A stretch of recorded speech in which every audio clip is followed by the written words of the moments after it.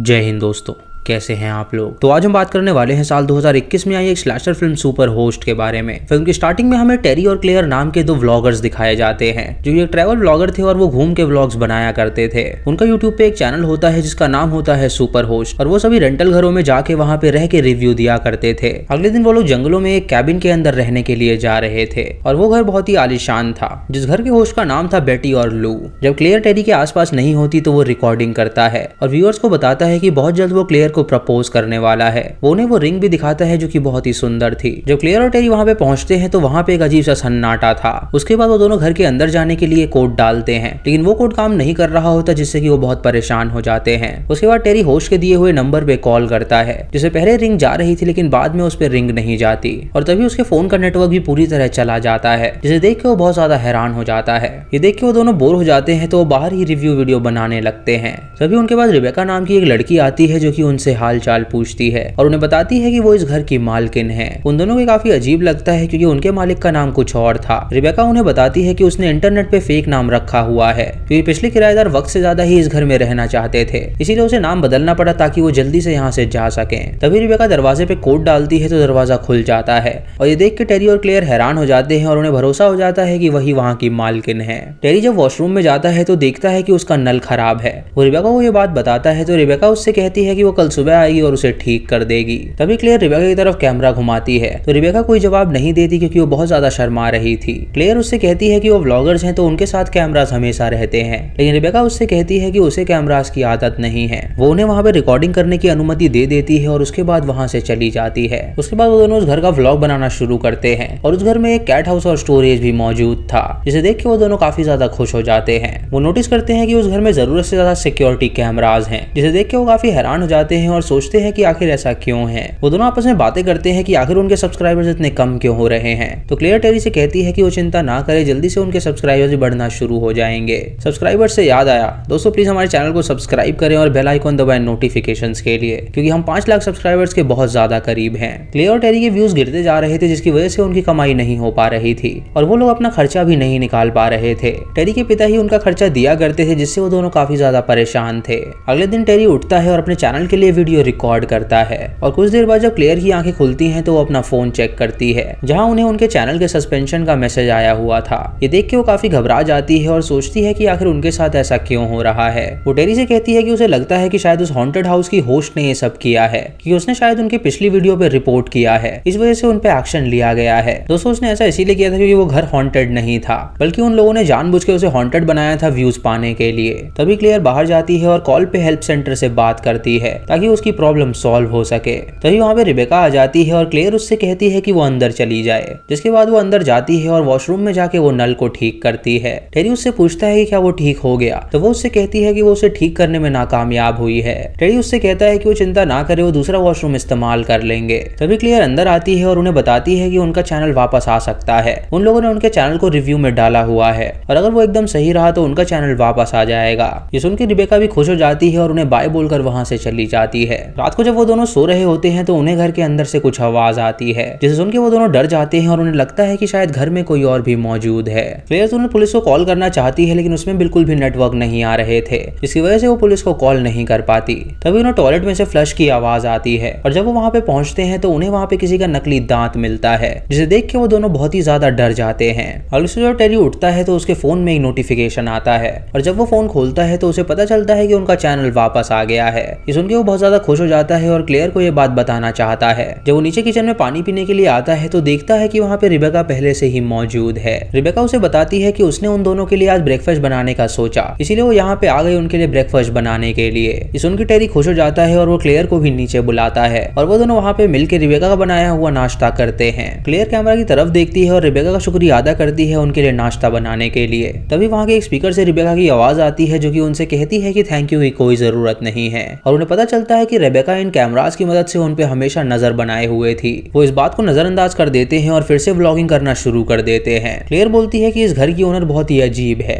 तो टेरी उसे रोकता है और उससे कहता है कि उन्हें ये सब बातें यहाँ पे नहीं करनी चाहिए। क्योंकि हो सकता है कि वो उनकी बातें सुन रही हो। तभी टेरी एक सीढ़ी लाता है और उस पर चढ़ के वो कैमरा को डिस्कनेक्ट कर देता है, ताकि उनकी आवाज़ उस तक ना पहुँच सके। इससे वो दोनों खुश हो जाते हैं, लेकिन तभी उनकी खिड़की पे कोई पत्थर मारता है, जिससे वो दोनों बहुत ज़्यादा डर जाते हैं। तभी क्लियर खिड़की नीचे देखती है और उसे वहाँ पे कोई नज़र आता है। और जब वो नीचे जाती है तो वहाँ पे कोई भी नहीं था। तभी उनके सामने वेरा आती है, जो कि उन्हें बताती है कि उसने ही उनके घर पे पत्थर मारा है, क्योंकि उनके व्लॉगिंग की वजह से सभी उसके घर को भूतिया समझ रहे हैं और कोई भी वहाँ पे रहना बिल्कुल नहीं चाहता। उसकी वजह से उसको काफ़ी नुकसान हुआ है तो वो उसकी भरपाई करे। प्लेयर उससे कहती है की इसमें उनकी कोई भी गलती नहीं है। उन्होंने बस इंजॉयमेंट के लिए बनाया था और उन्हें नहीं पता था की उसके साथ ऐसा हो जाएगा। तभी रिबेका वहाँ पे आ जाती है और उनसे पूछती है की यहाँ पे क्या चल रहा है। क्लियर उसे बताती है की इस औरत ने उसकी खिड़की तोड़ दी है और ये सुन के रिबेका वो बहुत ज़्यादा गुस्सा आ जाता है। वो वेरा से कहती है कि वो तुरंत यहाँ से चली जाए, वरना वो पुलिस को बुलाएगी, जिसे डर के वेरा वहाँ से चली जाती है। रिबेका टेरी और क्लियर से कहती है कि अब वो इंटरव्यू देने के लिए तैयार है। तो वो दोनों उसे अंदर ले जाते हैं और उसका इंटरव्यू लेते हैं। यहाँ वो दोनों देखते हैं कि रिबेका बहुत ज़्यादा अजीब तरह से बिहेव कर रही है, जो की काफ़ी अजीब बात थी। रिबेका उन्हें बताती है की ये घर उसके पिता का हुआ करता था, लेकिन जब उसकी माँ की मौत हुई तो उसका पिता उसे छोड़ के चला गया और उसने घर उसके नाम कर दिया और वो किसी और से शादी करके कहीं और रहने लगा। वो उन्हें ये भी बताती है कि यहाँ पे पहले एक बूढ़ा कपल रहा करता था, जो कि उसे अपनी बेटी की तरह मानता था और हर क्रिसमस पे वो उसे बुलाया करते थे। उन्हें उनकी कंपनी बहुत ज़्यादा पसंद थी और वो लोग काफ़ी अच्छे लोग थे। ये उन दोनों को काफ़ी अच्छा लगता है और रिबेका का इंटरव्यू खत्म होता है। रात को जब वो दोनों रिबेका की वीडियो एडिट कर रहे होते हैं तो क्लियर टेरी से कहती है की रिबेका बहुत ज़्यादा पागल है और उसके जैसे पागल लोग ही व्यूअर्स को पसंद आते हैं। वो कहती है की वो उसके साथ और भी शूटिंग करेंगे ताकि उनके व्यूज़ बढ़ सके। क्लियर के जाने के बाद टेरी अपने सब्सक्राइबर्स से कहता है कि कल वो क्लियर को सबके सामने प्रपोज करेगा। तभी हम टेरी के पीछे किसी को देखते हैं जो कि वहाँ से भाग जाती है। और ये देख के टेरी भी घबरा जाता है कि आखिर वहाँ पे कौन था। अगली सुबह टेरी क्लेयर को पहाड़ों पे ले जाता है और वहाँ पे उसे रिंग दिखा के प्रपोज करता है। लेकिन क्लियर को लगता है कि शायद वो वीडियो के लिए उसके साथ प्रैंक कर रहा है। टेरी उससे कहता है कि वो मज़ाक नहीं कर रहा, बल्कि ये हकीकत है। और उसके माता पिता से उसकी बात हो चुकी है। ये सुन के क्लियर रोने लगती है और उससे कहती है कि कल वो इस बारे में बात करेंगे। जब वो दोनों घर वापस आते हैं तो उन्हें वहाँ पे अपने दरवाजे पे कुछ पार्सल नज़र आते हैं। जब वो लोग उस पार्सल पे एड्रेस देखते हैं तो वो वहीं का था और उस घर के ओनर का नाम बेटी और लू लिखा हुआ था। ये देख के टेरी समझ जाता है कि ज़रूर यहाँ पे कोई गड़बड़ है। इसीलिए वो क्लियर से कहता है कि उन्हें अब यहाँ से चलना चाहिए। लेकिन क्लियर वहाँ से नहीं जाना चाहती थी, क्योंकि उसे अपने वीडियोस के लिए और भी ज़्यादा मसाला चाहिए था। टेरी उसकी नहीं सुनता और उसे अपने साथ ले जाने लगता है। लेकिन तभी उनके रास्ते में रिबेका आ जाती है, जो की उन्हें रोक लेती है। उनसे कहती है की जाने से पहले वो एक आखिरी चीज़ उसके साथ देख ले। क्लियर अब भी वहाँ पे वीडियोस बनाना चाहती थी। इसीलिए वो रिबेका के कहने पे वहाँ पे सब कुछ शूट करने लगती है। रिबेका उन दोनों को लेके जंगल की ओर जाती है, जहाँ पे हम देखते हैं कि उसने एक औरत को बाँध रखा है। जब वो उसके मुँह से कपड़ा हटाती है तो वो देखते हैं कि वो कोई और नहीं बल्कि वेरा है, जिसे उसने किडनैप कर लिया है और उसे सजा देने का सोचा है। ये देख के वो दोनों डर जाते हैं और रिबेका उनसे कहती है कि वो लोग कोई कम नहीं है। उन दोनों की वजह से कई सारे लोगों का नुकसान हुआ है और वो अपनी वीडियोस के लिए कुछ भी करने को तैयार है। उनसे कहती है कि अगर उन्हें अच्छा कंटेंट चाहिए तो वो उसे एक अच्छा कंटेंट देने के लिए तैयार है। ये कह के वो वेरा के मुँह में चाकू घुसा देती है, जिससे उसकी मौत हो जाती है।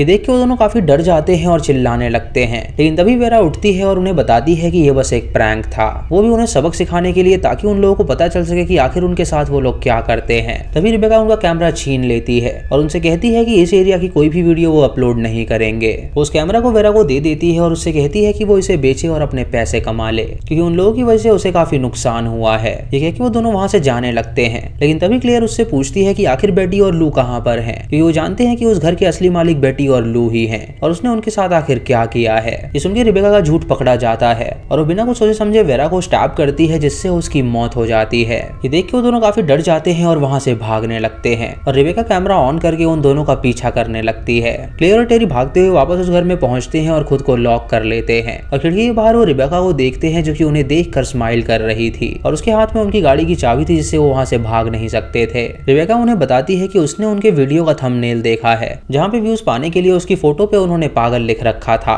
क्लियर उससे कहती है कि वो उन्हें यहाँ से जाने दे और वो कोई भी उसकी वीडियो अपलोड नहीं करेंगे। ये सुन रिबेका कोई भी जवाब नहीं देती और वहाँ से चली जाती है। उसके बाद क्लियर स्टोर रूम में जाती है एग्जिट ढूँढने के लिए और वहाँ पे उसे ढेर सारे मॉनिटर्स नज़र आते हैं जिसपे कैमराज की फुटेज आ रही थी। ये देख के वो समझ जाती है कि रिबेका सारे वक्त उसी रूम में मौजूद थी और वो उनपे हर समय नज़र गड़ाए हुए थी। तभी स्पीकर पे रिबेका उन्हें बताती है की वो उस घर की किराएदार थी। उसने उन्हें मनाने की कोशिश करी, लेकिन वो लोग बिल्कुल भी नहीं माने। इसीलिए रिबेका ने उनको और उनकी बिल्ली को भी मार दिया। यानी ये घर उसी ओल्ड कपल का था जिसके बारे में रिबेका बात कर रही थी। और वॉशरूम में जो दांत मिले थे वो उसी ओल्ड कपल के थे।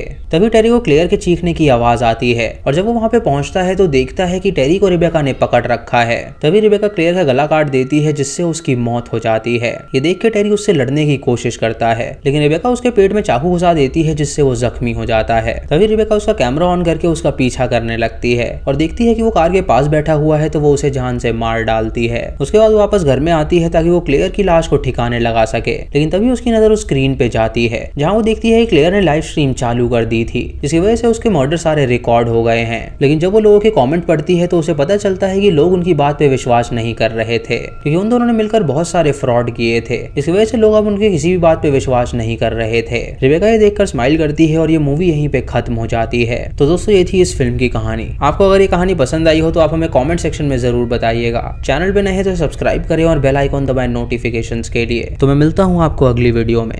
तब तक के लिए जय हिंद।